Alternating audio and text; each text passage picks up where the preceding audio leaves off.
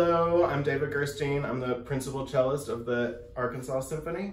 Hi, and I'm Katherine Williamson, a violinist with the ASO and also with the Rockefeller String Quartet. Oh, and I'm playing Quapaw Quartet as well. We're here celebrating Arkansas Gives Day.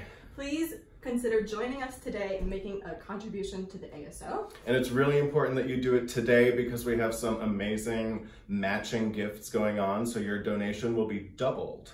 Thank you so much. Thank you.